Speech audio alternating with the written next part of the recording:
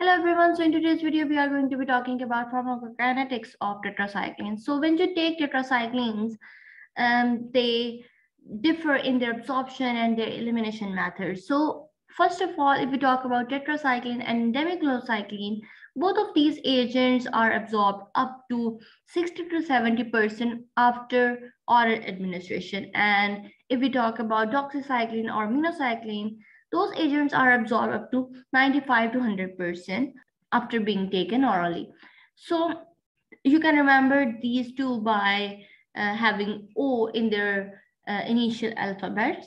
So both of these agents are absorbed up to 95 to 100% after being taken orally. So if we talk about tetracycline, uh, tetracycline is poorly absorbed orally and it must be administered intravenously portion of an orally administered dose of tetracycline remain in the gut lumen, alter intestinal flora, and is excreted in the feces.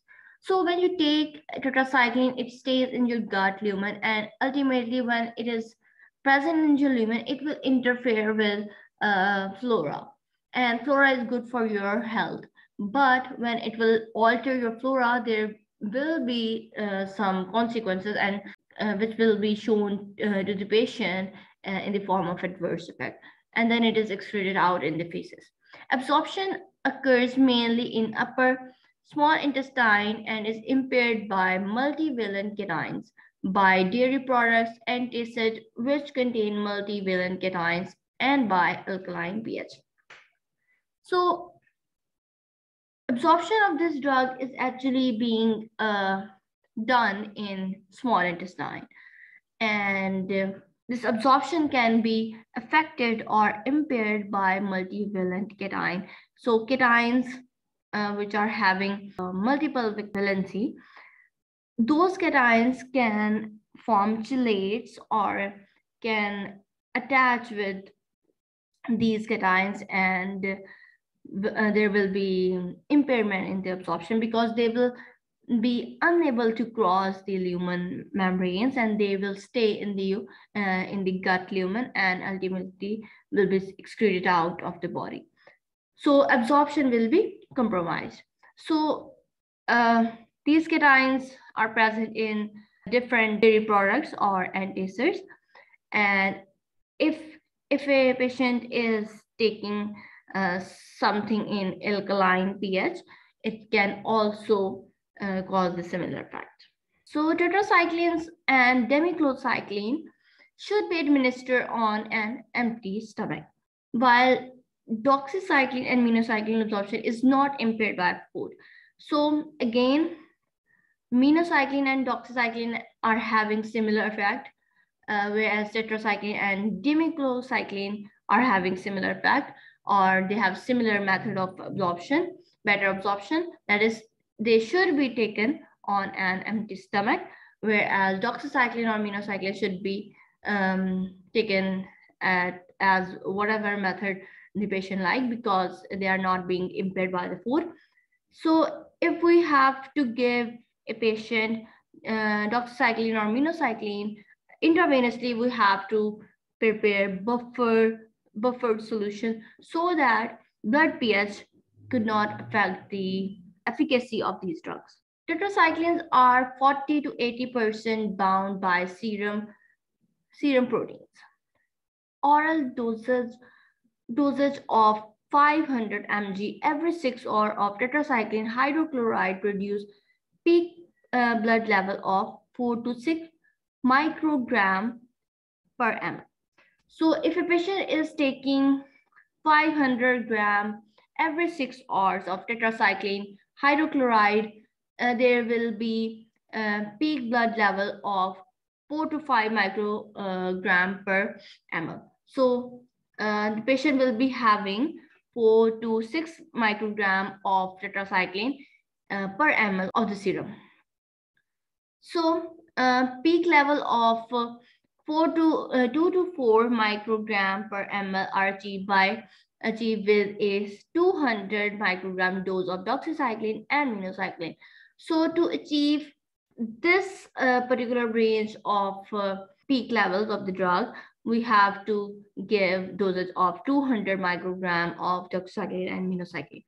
Steady state peak serum concentration of tetracycline are 0.6 microgram per ml at the standard doses. So at the standard dose of tetracycline, uh, steady state peak uh, serum concentration of tetracycline are 0.6 microgram per, uh, per ml. Tetracyclines are distributed widely to tissue and body fluid except for cerebrospinal fluid. So if we talk about the cerebrospinal fluid, we know there are a lot of hurdles a drug has to pass through to reach cerebrospinal fluid. So if a person is taking tetracyclines, only 10 to 20% of the drug that is being present in the serum will go into the cerebrospinal fluid. So if a person is having 50% absorbed tetracycline after being taken orally, only 10 to 20% of that 50% will go into cerebrospinal fluid.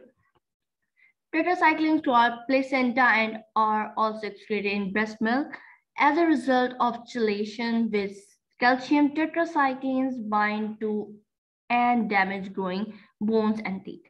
So as we know that calcium uh, along with tetracycline can cause the um, chelation process. So chelation can cause damage to the bones or teeth. So this could uh, cause a negative effect to um, fetal. Carbamazepine, phenytoin, barbiturates, and chronic alcohol ingestion may shorten the half-life of tetracycline and doxycycline by 50% due to, in, due to the induction of hepatic enzyme that metabolize the drugs.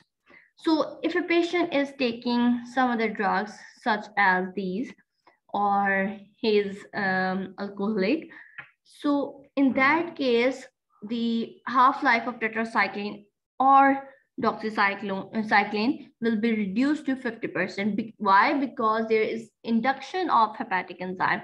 Now, uh, if a drug is being metabolized by certain enzyme and that enzyme is being induced, which means there is over uh, working or overproduction of that enzyme.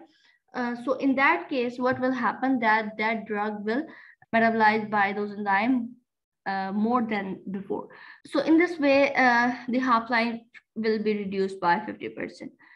Tetracyclines are excreted mainly in bile and urine. Concentration in bile ex exceed those in serum 10 folds. So there are two ways of excretion of uh, tetracyclines, that is bile or urine. And in bile, uh, concentration is tenfold more than the serum. Some of the drugs excreted in bile is reabsorbed from the intestine. So as we know, there is enterohepatic circulation. They will be reabsorbed and go uh, back into the blood. And in this way, there, uh, there will be maintenance of serum levels. So 10 to 50% of uh, various tetracyclines are excreted by urine. As we know, there is a glomerular filtration uh, process through which these uh, uh, drugs are being excreted out.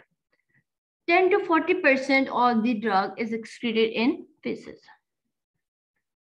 Doxycycline and tetracycline, in contrast to other tetracyclines, are eliminated by non-renal mechanisms. So these drugs are not eliminated uh. So we don't have to uh, do any dose adjustments in uh, in case of patients having renal in insufficiency or renal uh, failure. Now, tetracyclines are classified on the basis of their um, action. So if we are having short-acting tetracyclines, we will classify them as short-acting tetracycline and those include tetracycline as well as agricultural agent chlorotetracycline and oxytetracycline. Intermediating, uh, intermediate acting demeclocycline, and long-acting uh, agents include doxycycline and minocycline. Based on their half-lives of six to eight hours, so short-acting uh, tetracyclines have half-life of six to eight hours, whereas intermediate-acting uh, tetracyclines have short life or um, half-life of 12 hours, whereas long-acting tetracyclines are having uh, half-life of 16 to 18 percent, uh, 18 hours. Tetracycline has a half-life of 36 hours. The almost complete absorption and slow excretion of doxycycline and minocycline allow for once daily dosing for certain indication. So doxycycline and minocycline, which are actually long-acting tetracyclines, those uh, allow you to have only uh, once daily uh, dosing. But uh, by convention, we give them twice daily so that uh, we can have a um, steady state uh, serum concentration. So this was all about pharmacokinetics of uh, tetracyclines. In next video, we will be discussing about clinical uses of uh, tetracycline.